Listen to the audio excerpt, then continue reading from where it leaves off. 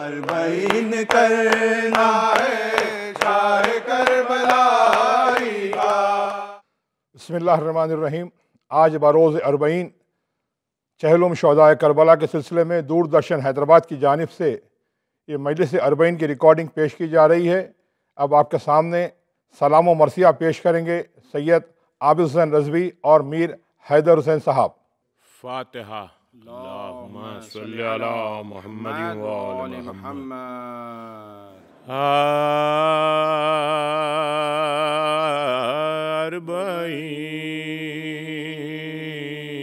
के सोगवारो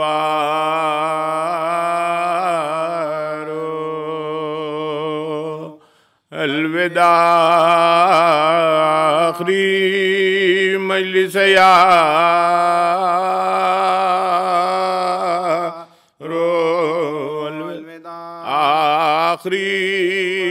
मजलिस रो अलविदा खातिमा बिलखैर चेलुम का हुआ अलविदा अशकबारो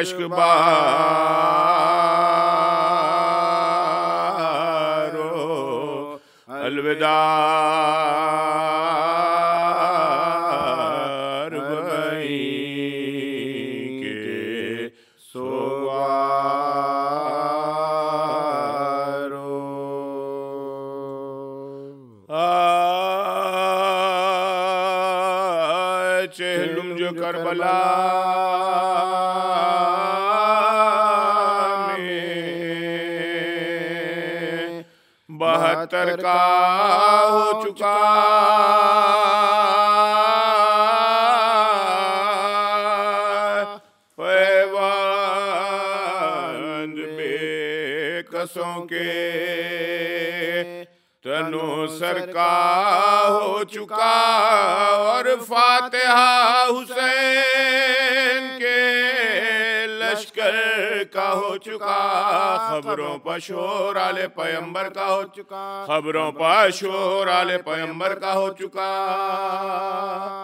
मातम में तीन रोज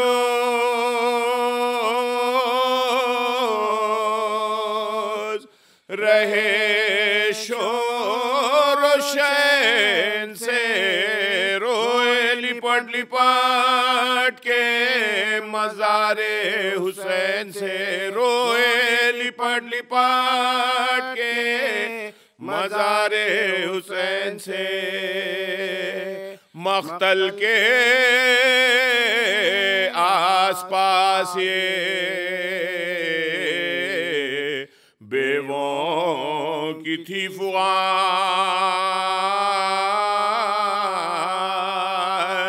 जैनब जबी लहत पा धरे करती थी बयां ए मेरे करबलाई, बरादर हुसैन जा हम शीर तीन दिन से तुम्हारी है मेहमान हम शीर तीन दिन से तुम्हारी है मेहमान। अल्लाह मेरी बात भी पूछी ना आपने ज़िंदा की वारदात भी पूछी ना आपने। भैया उठो कजावे। मुझको तुम ही बिठा भैया मैं बेनका बुरागिरों को हटा भैया मैं बेनका बुरागिरों को हटा रोके खना तक बरो अब्बास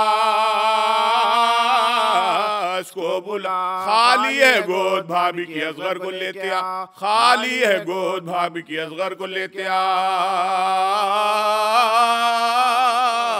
आ। क्या तमाशा हुआ इस्लाम की तकदीर के साथ? ख़त्ल शब्बीर हुए नारे तकबीर के साथ। भैया, मैं बिन तुम्हारे वतन को ना जाऊँगी। भैया, यहीं मैं ख़ब्र पे आँसू बहाऊँगी। नालों से आसमान और ज़मीन को हिलाऊँगी। ख़बर हुसैन आँखों से आँसू बहाऊँगी। मौलाना रज़ा अब्बास खान साहब आपके सामने। मसाहब सैदुलशहदा मसाहब अरबईन, अलैहिस्सलाम बयान फरमाएँगे। ला हौला वला बिल्लाहिल अलील क़दीम।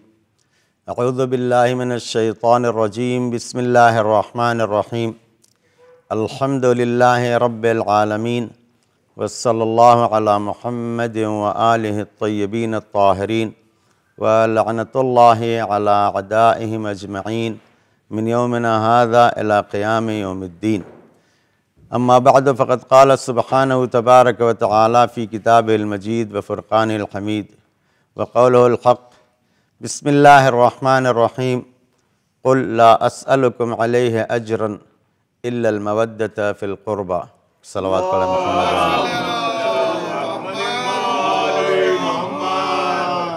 ऐज़ान मोहतरम खुदावंद आलम अपनी पाक व पाकिज़ा मुनज़्ज़ह किताब कुरान मजीद के सूर शूरा में इरशाद फरमा रहा है। कि हबीब कह दो कि हम तुमसे कुछ भी अजर रसालत नहीं चाहते सिवाय इसके कि तुम क़ुरबा से मवदत अख्तियार करो। लोगों ने पूछा क़ुरबा से मुराद क्या है? तो आपने अहल बैत की मरफ़ी की कि इनकी मोहब्बत ये अजर रसालत है। किसी भी चीज़ की उजरत उसके बराबर होती है। लिहाजा रसालत को जो लोग समझें वही अजर देंगे। लिहाजा अजर देने के लिए जो कहा गया कि आप रसालत का तो रसालत है क्या चीज़? रसालत है इंसानियत को उसके हदफ तक पहुँचाना। अल्लाह ने पैगंबर को इसलिए भेजा ताकि लोगों को गुमराही से निकाल के उनको अपने हदफ तक पहुँचाए जो इंसान शैतान के बहकावे की वजह से गुमराही की तरफ़। अब इस चीज़ को बाकी रखना है। और ये दुनिया जानती है कि अल्लाह खालिक है इंसान का। अल्लाह इंसान की फितरत से वाकिफ़ है। कि उसको किस तरह से बाकी रखा जा सकता। आज ये बात आप अच्छी तरह से महसूस कर सकते हैं कि हर चीज़ पर जो चीज़ गालिब आती है वो है मोहब्बत और नफ़रत। मोहब्बत में इंसान कुछ भी करता है और नफ़रत में भी इंसान कुछ भी करता है। लिहाजा सारी अगर मोहब्बत का मरकज़ कहीं और चला जाता तो इंसान मोहब्बत में कुछ भी कर सकता है। लिहाजा दीन को बाकी रखने के लिए अहल बैत अलैहिस्सलाम की मोहब्बत ज़रूरी थी ताकि कोई और चीज़ की मोहब्बत इंसान के ऊपर गालिब ना आए। और यही वजह है कि सब कुछ जानने के बाद, सब कुछ सीखने के बाद इंसान जब मोहब्बत और नफ़रत के मामले में आता है तो अपना सब कुछ भूल जाता है। लिहाजा रसालत को बाकी रखने के लिए इसीलिए कुरान में जहाँ ये इरशाद फरमाया कि तुमको अजर रसालत देना मोहब्बत के लिए, वहीं दूसरी जगह कुरान में ये भी इरशाद फरमाया कि जो भी तुमसे अजर मांगा गया है, वो तुम्हारे लिए है। मासल तुम मिन अजर फ़वल्लकुम जो तुमसे, ये अल्लाह को किसी की मोहब्बत की ज़रूरत नहीं है। अहल बैतम को किसी की मोहब्बत की ज़रूरत नहीं है। लेकिन हदफ रसालत को बाकी रखने के लिए मोहब्बत के मरकज़ को तय करना ज़रूरी है ताकि इंसान मोहब्बत और नफ़रत में आकर के अपनी रसालत के पैगाम को न भूल जाए। और आज आप देखें चौदह सौ साल के बाद भी अगर आपको दीन चाहिए तो दीन सिर्फ़ वहाँ मिलेगा जहाँ अहले बैत से मोहब्बत है। और जहाँ अहले बैत की मोहब्बत से इंसान हटा सब कुछ होने के बावजूद दीन उसके पास नहीं रहा। और इसकी सबसे बड़ी गवाह करबला की ज़मीन है। वहाँ लोग कलेमा पढ़ने वाले मौजूद थे कुरान पढ़ने वाले लोग मौजूद थे नमाज़ पढ़ने वाले लोग मौजूद थे लेकिन जंग जो हो रही थी किसमें? मोहब्बत और नफरत में। जो अहल बैत अलैहिस्सलाम से मोहब्बत करने वाले थे वो एक अलग थे। और जो नफरत करने वाले लोग थे वो अलग थे। इसीलिए इमाम हुसैन इस्लाम ने पूछा जब करबला में कि तुम लोग क्यों मुझे कत्ल कर रहे हो? तो लोगों ने वही जवाब दिया नफरत। अली से दुश्मनी की बुनियाद पर कत्ल कर रहे हैं। तो जब अली से दुश्मनी की बुनियाद पर कत्ल कर रहे हैं तो पूरा दीन का दावा करने के बावजूद उनके पास दीन नाम की कोई चीज़ नहीं थी। बल्कि दीन तो दीन दीन क्यों आया? आप हमारा पहला जुमला याद रखिए कि दीन क्यों आया? इंसान को उसके मकसद तक पहुँचाने के लिए। और जब इस मोहब्बत के मरकज से हट गए तो सिर्फ़ यही नहीं कि उनके पास दीन नहीं था बल्कि उनके पास इंसानियत भी नहीं थी। इसीलिए आज आप करबला का जो पैगाम आप दुनिया में देख रहे हैं दीन के साथ साथ उससे दीन से बढ़ करके इंसानियत का पैगाम आ रहा है। आज आप देखें दीन का मैं दीन किस लिए आया? इंसान को इंसान बनाने के लिए। इसीलिए आप जब करबला के जलवे को देखेंगे ना आप तो करबला के जलवे में दीन से पहले इंसानियत है। और इसी वजह से करबला के गम को याद करने के लिए इमाम हुसैन इस्लाम के इनकलाब से दर्श लेने के लिए दीनदार की ज़रूरत नहीं है, इंसान होने की ज़रूरत है। लिहाजा जो भी इंसान है, वो आज हुसैन से जुड़ा हुआ जो भी इंसान है वो इंसानियत से जुड़ा हुआ हुसैन की वजह से। पहला पैगाम करबला का ये था कि जुल्म को बर्दाश्त नहीं करेंगे। जुल्म के खिलाफ आवाज़ उठाएँगे चाहे हमको जितनी मुसीबत उठानी पड़े। आज बहुत से लोग जब इंसानियत के मरकज से हट जाते हैं तो उनका आलम क्या होता है। जालिम हो जाते हैं या जालिम के मुकाबिल में जो है सरेंडर हो जाते हैं या जुल्म बर्दाश्त करते हैं या जालिम का साथ देते हैं या जालिम के सामने कुछ नहीं तो अपने भले के लिए जालिम के मुकाबिल में आवाज़ नहीं उठाते। करबला का दर्द सबसे बड़ा यह है कि तुम्हारे ऊपर चेक क्योंकि हदफ यह है कि इंसान बनो। इंसान बनोगे तो खिलकत का तुम्हारा मकसद पूरा होगा। और ये उस वक्त होगा जब आपको जुल्म से नफरत और जालिम के से नफरत और मजलूम के साथ हमायत होगी। इसीलिए आज इंसानियत का हर का, आप किसी के सामने करबला पेश कीजिए। आप देखिए आप करबला के वाकयात को पेश कीजिए। हर इंसानी दिल रखने वाला शख्स उसकी तरफ़ झुक के आएगा। और हर इन, आज़ाद इंसान यजीद और यजीदियत से नफरत करेगा। इसीलिए अल्लाह ने कहा था कि मोहब्बत अजर रसालत है ताकि रसालत का मरकज़ बाकी रहे। जब मोहब्बत होगी अहल बैत से तो अच्छाइयों के मरकज़ का नाम है अहल बैत। इंसान अच्छाइयों से मोहब्बत करेगा मतलब यह कि अहल बैत के दर से वाबस्ता रहेगा तो उसकी इंसानियत भी बाकी रहेगी उसका दीन भी बाकी रहेगा रसालत का पैगाम भी बाकी रहेगा और जब उस दर से हट जाएगा तो उसका आलम यह होगा कि वो दीनदार तो छोड़िए इंसान भी नहीं रह जाएगा।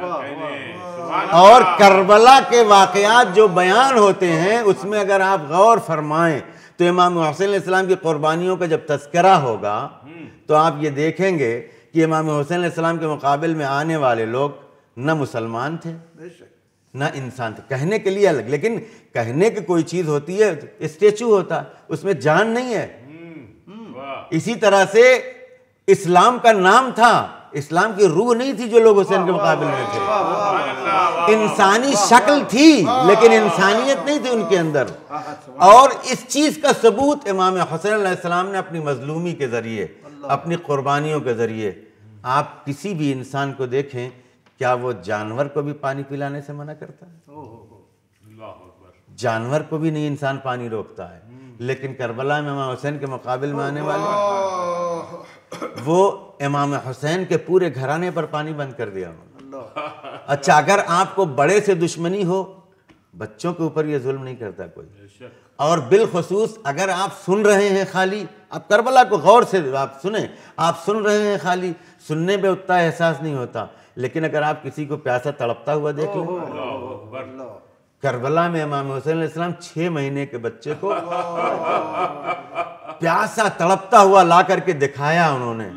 लेकिन ये इंसान नहीं थे। इंसान होते तो छह महीने के बच्चे की प्यास पर इनको तरस आता। न ये मुसलमान थे इसीलिए कि हम शक्ल पैगंबर को इमाम हसन इस्लाम ने मैदान में भेजा। अगर मुसलमान होते तो उस ज़माने में कुछ लोग ऐसे थे जिन्होंने पैगंबर को देखा था। तो ये चीखते कह रही है तो पैगंबर की हूबहू तस्वीर है इसके सीने पर बर्छी कैसे चला लेकिन नफरत ऐसी चीज़ थी कि जिसने इनके अंदर से दीन को ख़त्म कर दिया और मोहब्बत एक ऐसी चीज़ थी कि जो लोग प्यास और सारी मुसीबतों के बावजूद करबला में इमाम हुसैन सलाम के साथ थे। दीन इनके पास नहीं आया था इसीलिए चौथे इमाम सलाम फरमाते हैं कि मेरे ऊपर हमारे ऊपर ऐसे मजालिम ढाए गए कि अगर मोहब्बत का हुक्म जो शरीयत ने दिया था अगर नफरत का भी हुक्म देती शरीयत तो इससे ज़्यादा ये जुल्म नहीं कर सकते थे। आप तस्वुर करें अगर किसी के घर किसी का इंतकाल हो जाता है इंतकाल हो जाता है तो लोग पुरसा देते हैं। चे जाए कि भरा घर एक दिन में करबला में शहीद कर दिया गया और पुरसा देना तो दूर की बात है। ऐज़ान मोहतरम उन जनाजों को दफन करने की भी इजाज़त नहीं थी। ये अयाम अदा चहलुम का ज़माना करीब ये चहलुम कौन सा वक्त है? ईदान मोहतरम रवायात में है कि चहलुम का ज़माना वो है जब ये काफिला असीरी से रिहा होकर के फिर वापस करबला पहुँचा है। और ये करबला से गया किस आलम में था? और वापस किस आलम में आया है। उस दर अभी अजीज़ान मोहतरम जब कोई भी मुसीबत किसी पे पड़ती है थोड़ी देर के बाद आदमी को जो है बर्दाश्त होता है खामोश होता है लेकिन फिर जब कोई अपना मिल जाता है तो वो गम ताज़ा हो जाता है। आप किसी को भी देखें करबला के मंज़र को आप देखें कि जिस आलम में इमाम हुसैन की शहादत के बाद करबला से इन लोगों ने असीर किया है अहल बैत को। किस आलम में गए हैं? हर इंसान की यह ख्वाहिश होती है कि हमारा जनाजा हमारी औलाद के कांधों पर उठाया जाए हर बेटे की यह ख्वाहिश होती है कि हम अपने बाप का जनाजा अपने हाथों से गसल कफन दे करके सिपुर्द लहद करें। लेकिन करबला में इमाम हुसैन इस्लाम के साथ जुल्म ऐसे किए गए कि इमाम हुसैन इस्लाम को यह भी हक न दिया गया। लिहाजा आप देखें, सारी दुनिया का तरीका, ये दुश्मनी में ये किस हद तक इंसानियत से बिगड़ गए सारी दुनिया में जब कोई किसी से दुश्मनी होती है, जंग होती है, कत्ल हो जाता है तो लाश वरसा के हवाले कर दी जाती है। और इंसान को जिसको कत्ल कर लेता है, उसकी दुश्मनी से वो हाथ उठा लेता है या उसको एक सब्र आता है कि हाँ हमने कत्ल कर दिया। लेकिन करबला में इमाम हुसैन सलाम के दुश्मनों को, इमाम हुसैन सलाम के कत्ल के बाद भी ये सब्र न आया कि अब तो हुसैन शहीद हो गए, अब तो हुसैन कत्ल हो गए। इन जालिमों ने उसके बाद वो काम करना शुरू किया कि जिससे ये अंदाज़ा होता उनको कि हुसैन को ये चीज़ पसंद थी। लिहाजा उन्होंने देखा हुसैन आखिर वक्त में अपने बदन के हिफाजत के लिए, गैरत के लिए अंदर फटे हुए कपड़े पहने थे ताकि लाश की बेहरमती न हो, लाश को औरिया न छोड़ा जाए। इन जालिमों ने हुसैन के जनाजे को सिर्फ़ इतने ही नहीं कि कपड़े उतार लिए, बल्कि घोड़ों के टापों से पामाल किया गया। मोहतरम, इन जालिमों ने यह देखा कि इमाम हुसैन की एक तीन साल की बच्ची है, जिसको हुसैन बहुत चाहते हैं। इन जालिमों ने उस बच्ची को अजियत देना शुरू की और काफिले को बे जनाजों को दफन किए बगैर असीर करके लेके गए किस आलम में जैनब ने भाई के लाशे को करबला में छोड़ा है और जैनब करबला से कूफा, कूफे से शाम शाम का जिंदान शाम का बाज़ार, शाम का दरबार, ये सारी मंजिलें तय करने के बाद जब शाम में एक वक्त वो आया है, जब यजीद मलून की तरफ़ से ये इजाज़त मिली है कि आप आज़ाद हैं। जानते हैं, ज... जनाब जैनब सलाम ने सबसे पहला जो मुतालबा किया है, हमारे लुटे हुए सामान वापस करो और हमारे लिए घर खाली कराओ, ताकि हम अपने भाई के लिए फर्श अजा बिछा सके। ऐजान मोहतरम करबला में जनाब जैनब ने भाई का लाशा बेगोर कफन छोड़ा था। ख्वाहिश ये होती कि पहले किसी तरह से भाई की कब्र पर पहुँचे, भाई को किस आलम में छोड़ा था। लेकिन जैनब, चूँकि इस काफिले को लेकर के जो जैनब ने सफ़र किया है, अभी तक भाई पर दिल खोल के रो नहीं सकी है। लिहाजा ख्वाहिश है, पहले भैया के फर्श अजा बिछाएँगे, मातम करेंगे। लेकिन अजीजान मोहतरम, शाम के जिंदान में जब आज़ादी और रिहाई मिली है लुटा हुआ सामान वापस आया है। उसमें चादरें जब वापस आई हैं जनाब जैनब ने तमाम बीवियों की चादरें वापस की। एक नन्ही सी रिदा जो बच गई। जनाब जैनब ने वो नन्ही सी रिदा उठाई। जिंदान के एक गोशे में लेके पहुँची। देखा एक नन्ही सी लहद पर सकीना को फरियाद करके कहती है, सकीना, तुम्हें वतन जाने का बहुत शौक था। लाओ, हम रिहा हो गए हैं। अजीजान मोहतरम जैनब के दिल पर क्या गुजर रही है कि हम रिहा होकर के करबला भाई के पास जाएँगे। भाई की अमानत ज़िंदा मैदान शाम में छोड़ के जब चेलुम के दिन जैनब करबला पहुँची है, भाई के लाशे पर किस तरह से फरियाद की होगी? भैया, तुम्हारे बाद रिदाएँ छीन ली गई। बाजुओं में रसलमान के दयार बदयार फिराया गया। भाई, तुम्हारी अमानत ज़िंदा ने शाम में छोड़ करके आई। से अरबईन करना है शाह करबलाई का। लेके दाग सीने पर शाम की जुदाई का। अब आपके सामने जनाब मीर हादी अली साहब, सदर अंजुमन गुलशन हुसैनिया, नौहाजात पेश करने की सादत हासिल करेंगे। बैन करना है शाह कर बलाई का। बैन करना है शाह कर बलाई का। लेके दाग सीने पर शाम की जुदाई का। हक अदा करे जैनब कैसे अपने भाई का। काफिला उतर आया सब्र की खुदाई का काफिला उतर आया। सब्र की खुदाई का करबला के मैदान पर फातिमा की जाई का अरबईन करना है। शाह करबलाई का अरबईन करना है। शाह करबलाई का दूर तक निगाहों में शाम का अंधेरा है। करबला से कूफा तक हादसों ने घेरा है। जब से नौने लोने मुँह को अपने फेरा है। जब से नौने हा मुँह को अपने फेरा है। ममता की गोदी में मौत का बसेरा है। अरबईन करना है शाह करबलाई का। अरबईन करना है शाह करबलाई का। भाई क्या सुनाऊं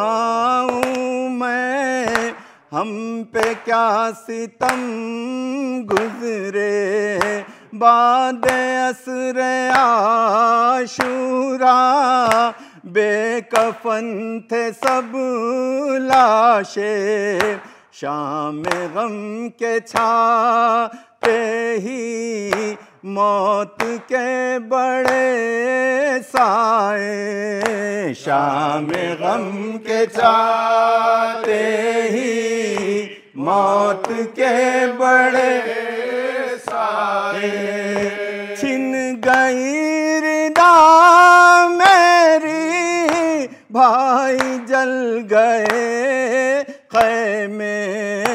अरबईन करना है शाह करबलाई का।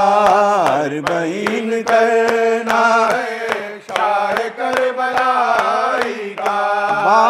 बाद करबला भाई हर कदम कयामत थी।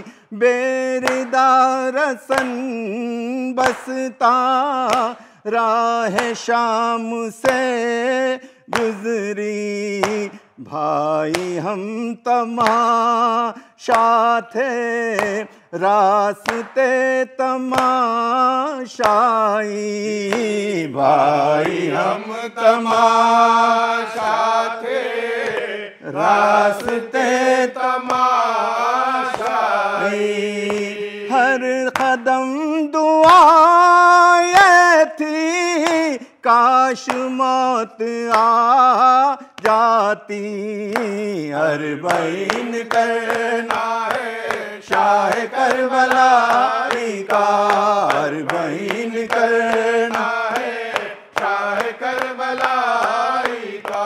खुद असीर किस्मत थी, दर बदर गई जैनब।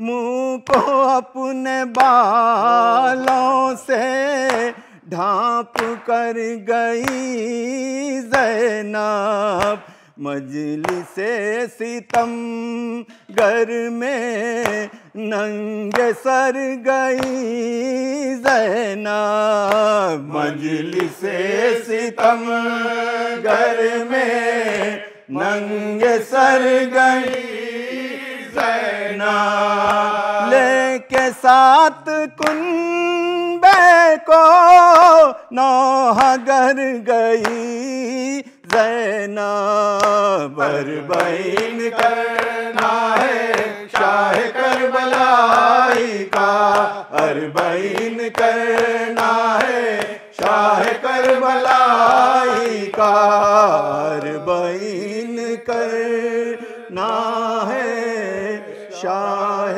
करबलाई दूरदर्शन हैदराबाद पर अरबैन का जो आज मजलिस हुई है, इस नौहे के साथ ये मजलिस का अख्ताम यहीं पर हुआ चाहता है। आप तमाम का बहुत बहुत शुक्रिया। इस मौके पर मैं एक बात कहना चाहूँगा। शहादत इमाम हुसैन के मौके पर प्राइम मिनिस्टर ऑफ़ इंडिया ने कहा कि हज़रत इमाम हुसैन सलाम, remember unwavering commitment to truth his fight against the injustice. He also place great importance of equity and brotherhood ये उन्होंने अपने एक्स प्लेटफॉर्म पर इमाम हुसैन की शहादत के मौके पर prime minister of India Shri Narendra Modi साहब ने यह कहा है। करना है